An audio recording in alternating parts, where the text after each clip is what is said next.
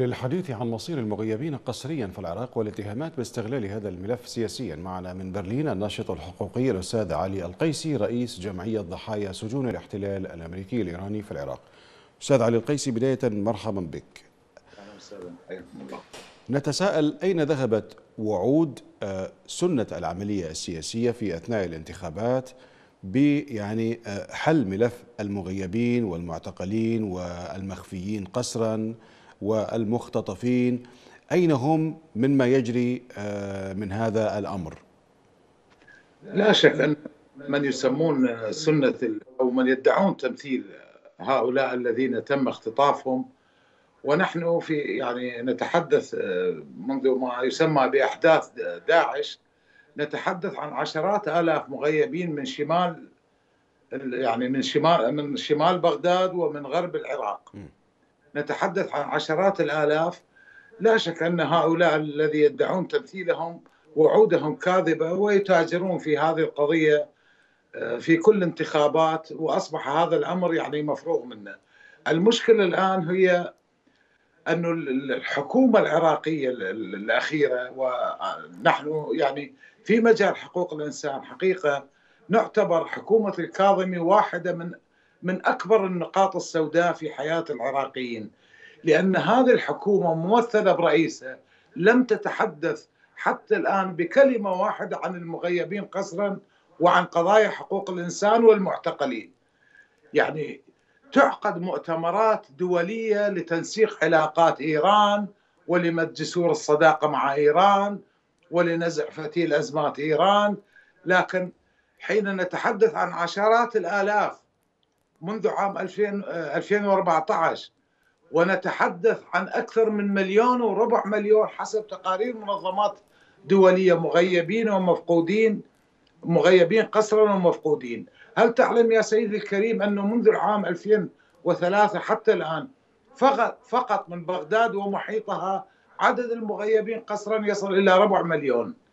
عدد المغيبين حقيقة من الموصل هم يتحدثون عن الموصل المدينة يعني الساحل الأيمن والأيسر لكن لا يتحدثون عن عن القرى وال- والنواحي والأقضية م. المحيطة بالموصل والتي يصل عدد المغيبين قسرا والمختطفين فيها إلى أكثر من خمسين ألف لا يعول لا على سنة من يدعون تمثيل هؤلاء ولا على الحكومة العراقية الحكومة العراقية آخر إجراءاتها الإجرامية اللي اتخذتها بهذا المجال من خلال تواصلنا مع المنظمات الدولية م. بدأت هذه الحكومة تعيق عمل المنظمات الدولية حتى الخارجية وتقول لهم بأن فتح هذه الملفات يسبب نزاعات ويسبب كوارث ويسبب غيرها.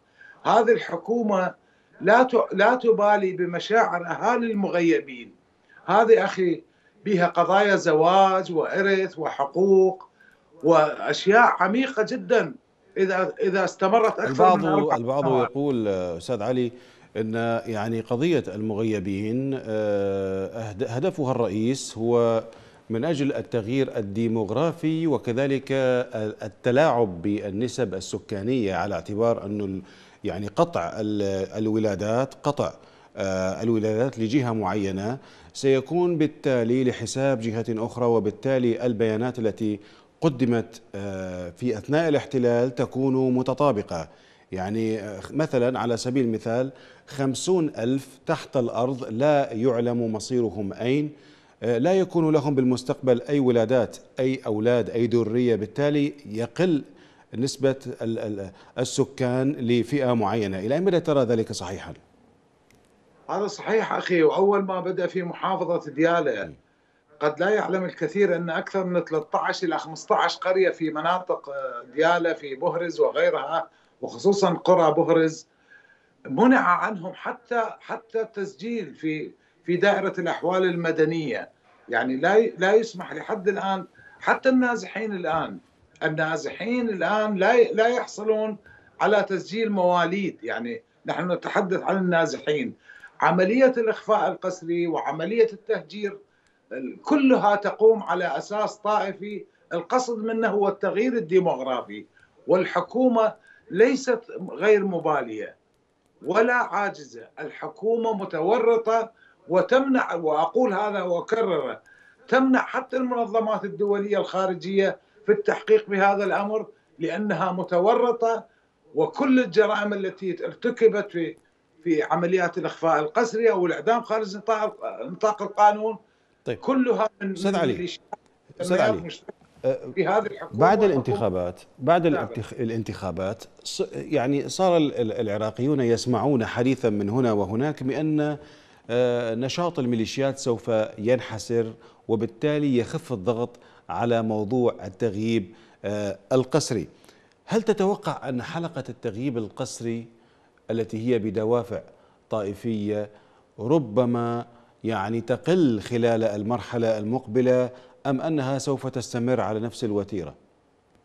سوف تستمر على نفس الوتيرة وأكثر وأشد والسبب أن حكومة الكاظمي شرعت لهذه الميليشيات قوانين حكومة الكاظمي شرعت لهذه الميليشيات قوانين وهي الحكومة الأكثر خدمة للميليشيات بعكس ما تقول للأسف دول عربية بأن الكاظمي وحكومة الكاظمي والميليشيات والتغول الإيراني كل هذا كذب.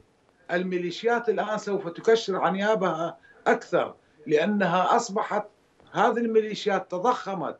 يعني عملية عملية تجارة الحشيش والمخدرات والسيطرة على الموانئ والسيطرة على المنافذ الحدودية لم تعد تكفيها.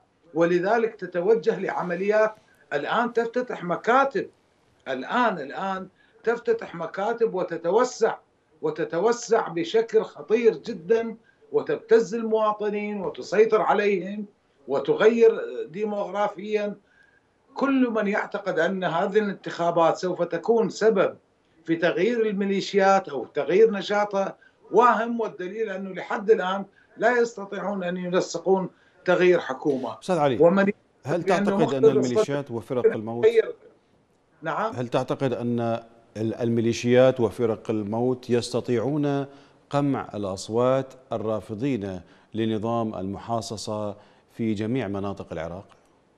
يستطيعون نعم في جميع مناطق العراق لأنه الأجهزة الأمنية مخترقة من قبلهم والأجهزة الأمنية متواطئة معهم وما حدث في في مدينة جبله أبسط قبل أيام أبسط دليل. لو كان هناك دولة وكان هناك سلطة للقانون وكان هناك مؤسسات دولة تحاسب هذه الميليشيات لا اعتقدنا بأن الوضع في العراق سيتغير. لكن هنا أؤكد أن هذه الحكومة والأحزابها لا تمثل أي مكون من مكونات الشعب العراقي رغم أن الثقل الأساسي من الضيم والقتل والتهجير يقع على المكون السني وهذا أصبح واضح للعالم. من برلين الناشط الحقوقي الأستاذ علي القيسي رئيس جمعية ضحايا سجون الاحتلال الأمريكي الإيراني في العراق نشكرك شكرا جزيلا أستاذ علي. بارك الله فيكم. أهلا بك.